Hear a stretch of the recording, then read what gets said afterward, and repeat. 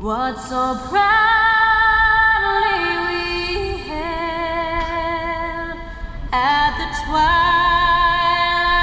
last gleaming, whose broad stripes and bright stars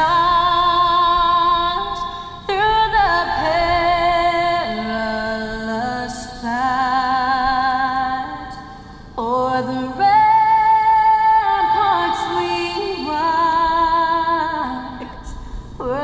again.